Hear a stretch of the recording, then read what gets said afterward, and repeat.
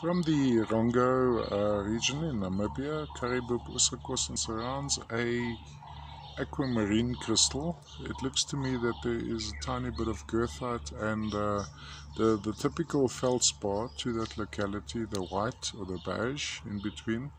It is a floater, so it has terminations on both sides. I'm just going to zoom in there to show you that termination too. So there's the one termination. There we have the other termination.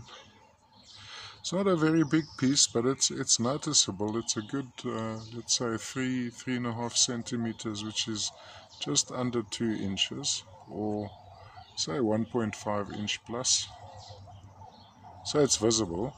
It's a miniature. It's a, a very very pale blue, not a dark blue. An indication.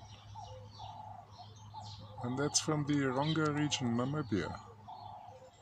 Uh, aquamarine, goethite and some feldspar.